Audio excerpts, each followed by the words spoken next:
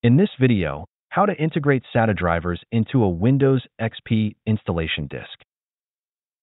By default, Windows XP does not support AHCI controller mode. When you try to install Windows XP, you will encounter the following error. If you are installing Windows on an older computer, you can try changing the SATA controller mode to IDE or compatible mode. This mode is supported by default, so you can install Windows normally without adding any drivers. However, on modern hardware, IDE mode is often not available. Only AHCI or RAID modes are offered. Therefore, to install Windows XP on such systems, we need to integrate the SATA drivers. You will need the original Windows XP ISO file and the SATA drivers. You can download the necessary drivers from this forum. I suggest you try the Universal SATA controller drivers first.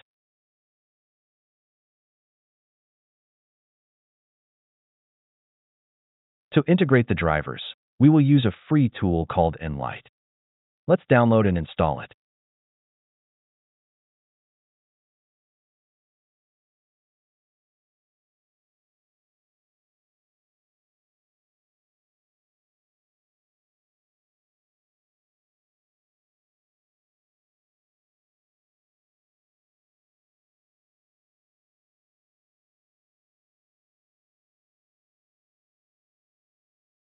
Now, extract the contents of the Windows XP ISO file to a folder.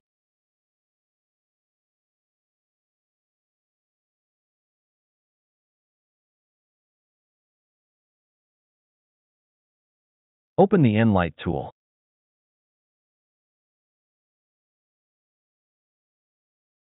Browse to the folder where you extracted the Windows XP files.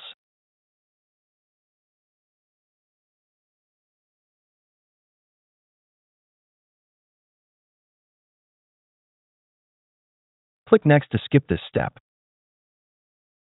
In this step, select the Drivers and Bootable ISO tasks.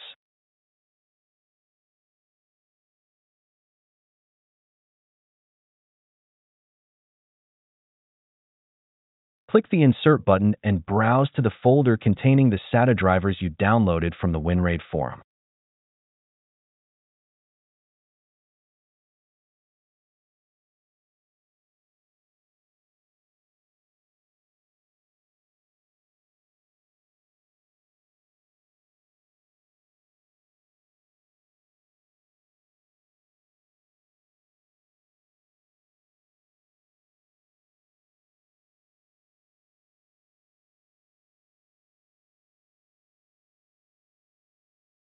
As you can see, the driver has been successfully integrated. Using this tool, you can burn the modified installation files directly to a bootable CD.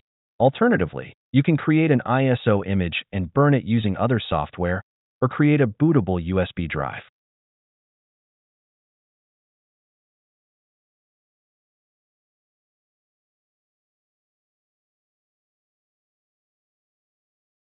For example, I will use a program called AnyBurn to burn the newly created ISO file to a CD.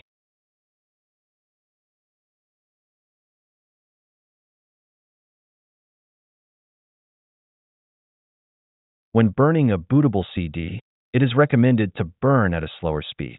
This will take longer, but it will help ensure the disk can be used for installation.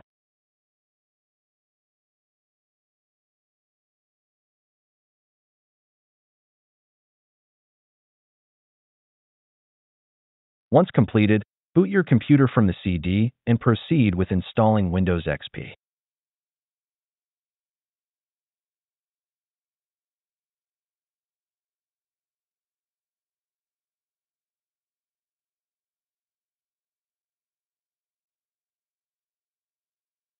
As you can see, the previous error is gone.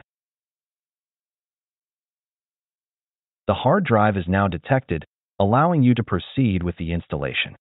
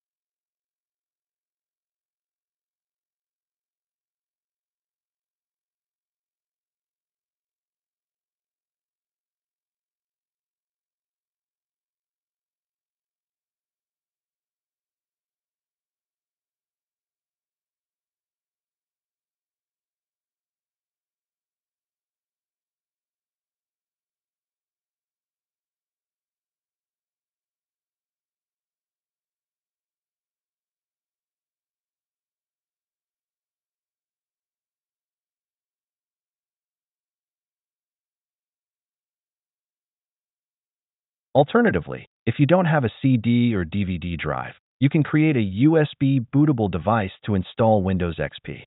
First, download this USB boot drive software. Since we're creating a Windows XP installation, make sure you download the legacy version of the tool.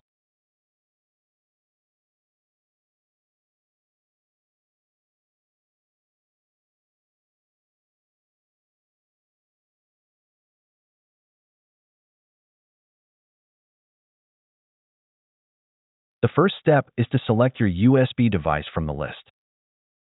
Once the USB drive is selected, we need to format it as FAT32 and wipe the USB disk. Please back up any data on the USB drive before creating the USB bootable device.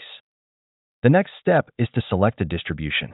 Let's scroll down and select the single Windows XP installer.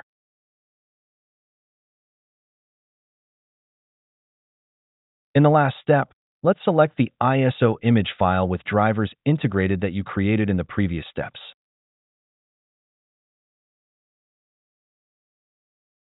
Finally, click the Create button to make the USB bootable device.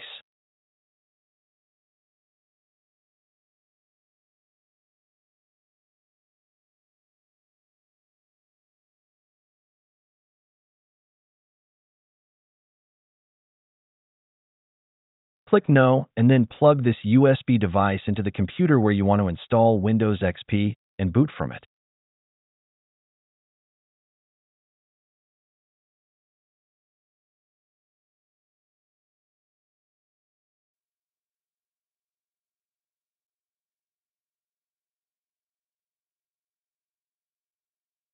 Select Windows Installer. Select Begin Windows XP Install Stage 1.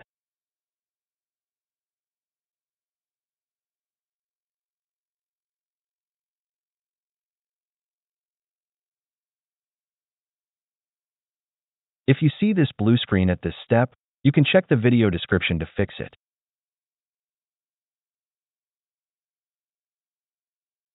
Install Windows XP as usual.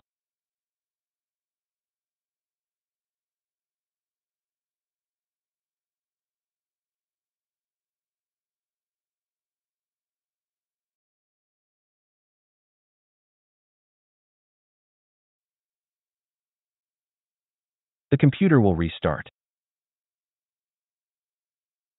At this moment, press the boot menu key repeatedly to boot from the USB bootable device one more time, instead of booting from the hard drive.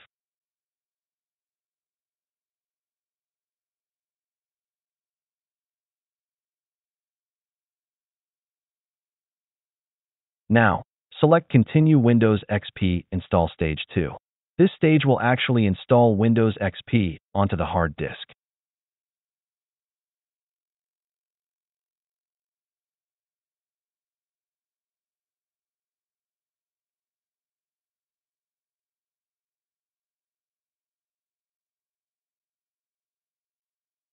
Once it's done, you can remove the USB bootable device from the computer.